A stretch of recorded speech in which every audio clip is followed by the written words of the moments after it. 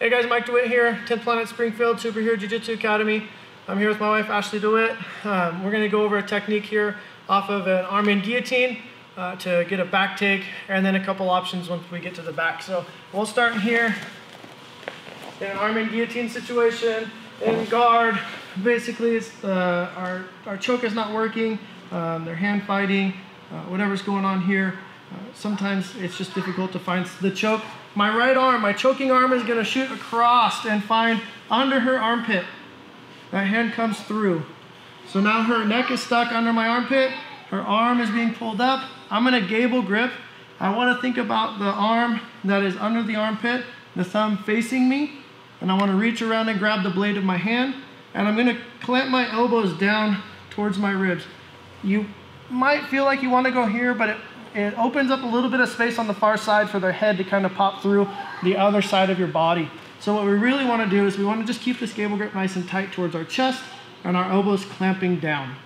All right, from here, I'm gonna hip escape out underneath, raising that arm, and I'm gonna take her right over my the left side, my left side here, and I'm gonna follow.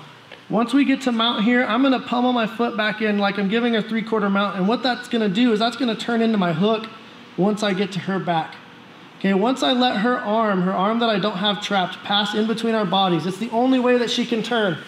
I'm gonna release my grip, keep my hook tight around her armpit, and I'm gonna slide my knee up her back here.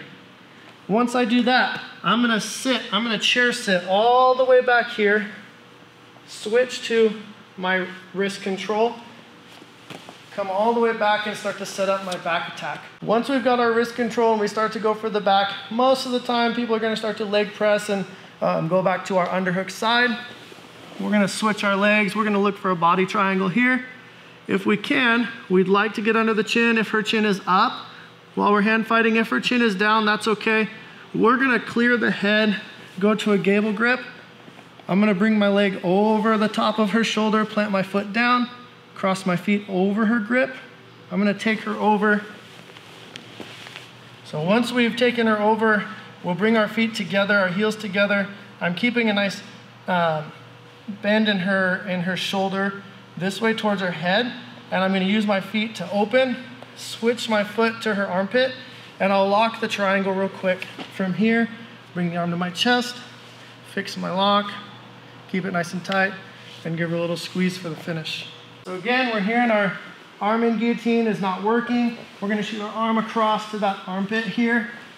Take her right over, follow her to mount, give her that three quarter mount position as she starts to turn through because she wants to escape that, uh, that neck crank that that 100% can turn into. I'm gonna let her post, keep my underhook tight, chair sit. As I chair sit, I'm looking for wrist control, clearing, looking for the choke if I can get there.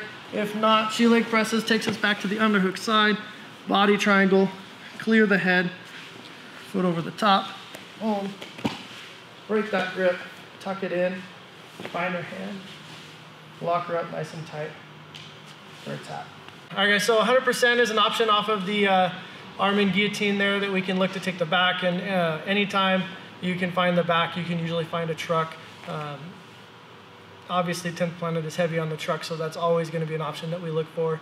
Um, look out for that video coming up next. Uh, or just visit us here at 10th Planet Springfield Superhero Jiu-Jitsu Academy in Springfield, Oregon.